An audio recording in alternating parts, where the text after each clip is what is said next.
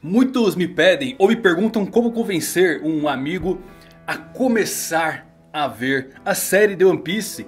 E isso é realmente difícil, pois eu sempre gosto das coisas de forma mais natural e orgânica possível. Mas se eu tivesse que indicar um ponto para tentar trazer novos fãs, seriam sem dúvidas os pontos que diferenciam One Piece de qualquer outra série. E dentre tantos que posso citar, eu começaria pelas mentiras. Sim, mentiras. No mundo de One Piece existe algo simplesmente mágico sobre prenúncios de coisas futuras e o criador insere essas dicas nas entrelinhas de mentiras contadas por Usopp, o atirador dos chapéus de palha. Todas as vezes que ele contou uma grande lorota, ela se tornou realidade. Quer saber quais são as mentiras que já aconteceram e as que faltam se tornar realidade? Então se liga que eu vou falar nisso agora.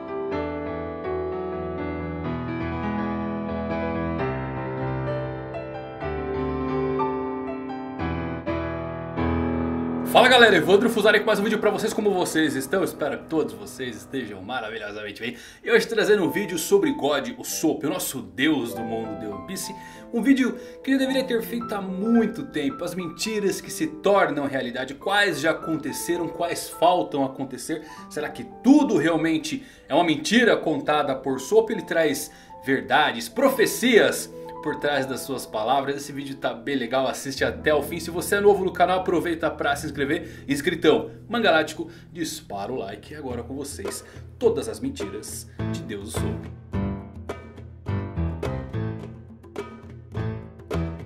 Então bora lá, se tem algo que realmente diferencia One Piece de qualquer outra série que já existiu é o Foreshadow. Um artifício literário pelo qual um autor acaba insinuando fragmentos da história que ainda estão por vir. É uma espécie de truque narrativo na qual um elemento acaba sendo colocado em uma cena da maneira que o público, o leitor, não decifre aquilo de imediato. E a sua volta posteriormente acaba abalando a trama de maneira significativa. Em One Piece, cada imagem que aparece em um novo capítulo pode ser o prenúncio de alguma coisa maior. E o que mais me fascina nisso tudo é que nem tudo acaba sendo conectado para um grande plot twist. Às vezes são detalhes tão pequenos e mesmo simples, mas que causam um espanto no leitor da mesma forma justamente por isso, simplicidade. Você acabou de achar algo, uma mensagem que o autor deixou exclusivamente para você descobrir.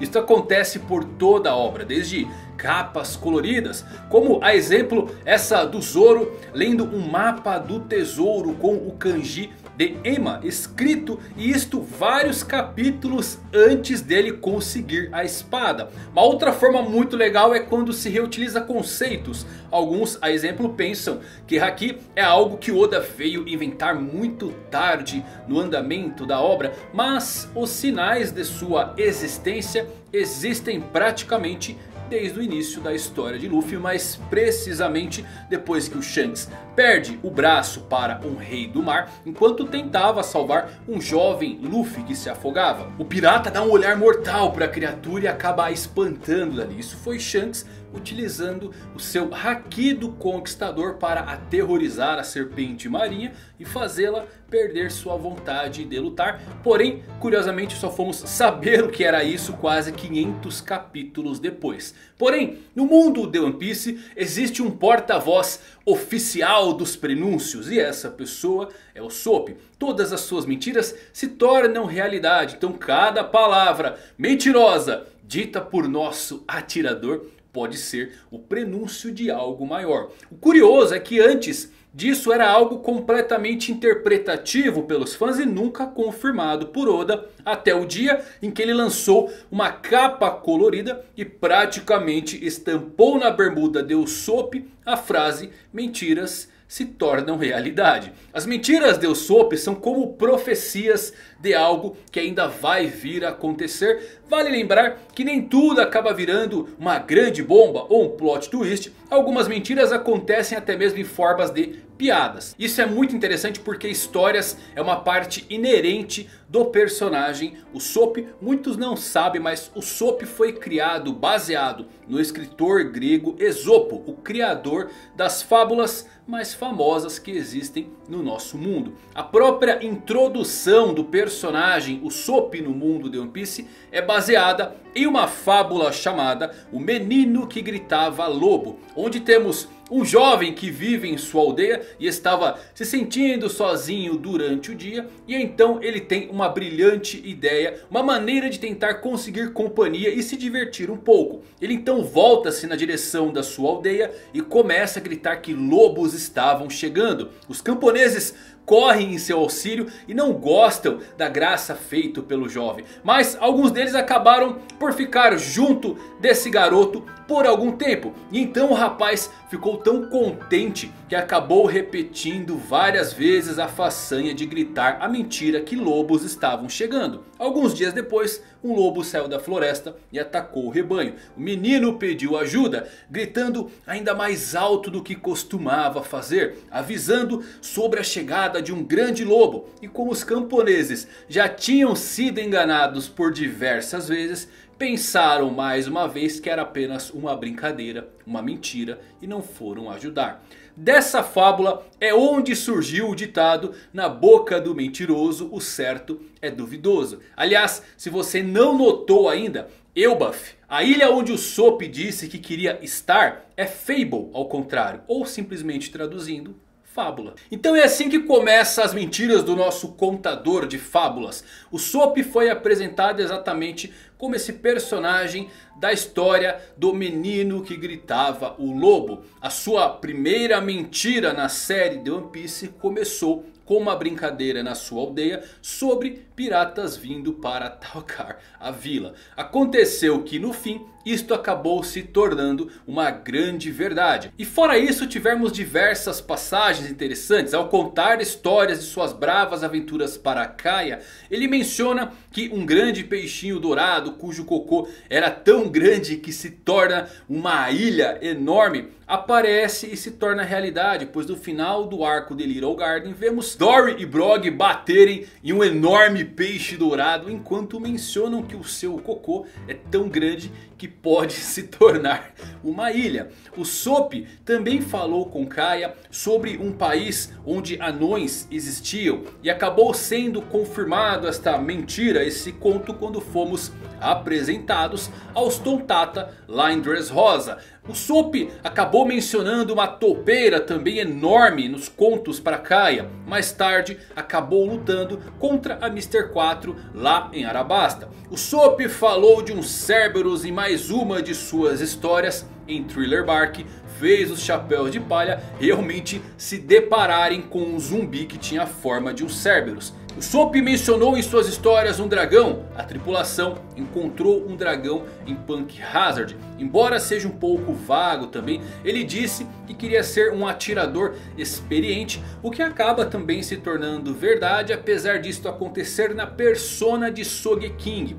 O Sop disse que a recompensa de 30 milhões de Luffy era na verdade dele. E mais tarde a primeira recompensa de Usopp acaba realmente sendo 30 milhões. Em outra passagem, para chamar a atenção do trio monstro que estava praticamente jogado às traças, o Sop gritou que uma bela espadachim estava chegando com carne. Isto se realizou perfeitamente quando somos introduzidos com Rebeca em Dressrosa, uma espadachim belíssima trazendo carne. O Sop frequentemente menciona como ele tem a doença de não posso ir para aquela ilha. E durante o flashback de Oden, olha que coisa maravilhosa, acontece que essa doença é real. É a doença que o Bug contraiu antes que a tripulação pudesse chegar em Left Tail. Essas são apenas algumas das grandes mentiras que se mostraram realidades. E entre a lista das mentiras que ainda não se tornaram verdade, mas que são muito legais, temos algumas notórias, como ele nascer na Ilha dos Atiradores, a Ilha Sniper. O Soap nasceu na Vila Sirup. É possível que no final de toda a série, quando ele realizar o seu sonho, essa ilha seja renomeada para a Ilha Sniper por conta dos seus feitos lendários, o que por si só já seria para lá de épico. O Soap também bradou que teria mais de 8 mil seguidores. A mordaça do deus Usopp já lhe rendeu muitos seguidores em Dressrosa. Então não vejo isso como realmente impossível. E essa daqui é uma das mentiras que já está em andamento para se concretizar. O Soap disse ser descendente de Mont Blanc Noland. Ele mentiu para os Tontatas dizendo que era descendente do lendário Eloy. Seria muito interessante ver que isso se tornou verdade, pois até hoje não sabemos o nome completo de Usopp. E uma das coisas que sempre me chama a atenção e é pouco comentado é que nos falsos chapéus de palha, aquela tripulação engraçada que tomou o lugar dos chapéus de palhas reais durante time skip, o pirata que se passava por Usopp se chamava Mont Blutain, que é um nome muito parecido, quase um anagrama para Mont Blanc. O próprio Noland acabou sendo executado como um grande mentiroso, mas na verdade todos sabemos que ele sempre disse a verdade sobre as suas aventuras. Seria legal ver o Soap, um descendente de Noland e um parente próximo de Mont Blanc Cricket seria simplesmente fantástico. O Soap também disse a sua mãe que existia um remédio que poderia curar qualquer doença existente. Isto obviamente vai se tornar realidade com o objetivo de Chopper. Mas em um ano o Soap fez o óleo de sapo que foi utilizada para curar até as feridas do próprio Zoro após sua luta contra Kamazo. E gerou uma cena muito triste quando Otoko tentou utilizar o óleo de sapo em seu pai Yazu. Realmente acreditando que esse óleo curava qualquer ferida. Mas quem sabe esse óleo criado por Usopp seja a base de um medicamento maior nas mãos de Chopper. Uma das mentiras que anda muito em alta surge no capítulo 222. A tripulação vê sombras enormes do povo do céu. Usopp diz que derrotou 10 deles. Isto bate exatamente com os numbers deu ano e este pode ser o momento de glória de Usopp no país dos samurais. E claro, temos também o Usopp bradando que usou o Haki do Conquistador e fez a terra tremer. Ele contou aos Tontatas que utilizou isso e nocauteou 50 mil inimigos lá na Ilha dos Homens Peixes. Obviamente ele estava contando aqui sobre o grande feito de Luffy, mas se lembrem que a primeira recompensa do Luffy ele disse que era dele e logo depois quando Soap recebe seu primeiro cartaz de procurado, temos uma grata surpresa que ele não estava mentindo. E eu para ser sincero adoraria ver isto acontecendo. O Soap despertando o Haki do Conquistador, quem sabe na Ilha das Fábulas. Um guerreiro renomado que vai empunhar o próprio Mjolnir e a cada tiro é um inimigo derrubado. Bom, no fim das contas, o Soap nunca mentiu, só disse verdades. E todos sabemos que em One Piece, que vive em uma época de mentiras universais, dizer a verdade é um ato um tanto quanto revolucionário.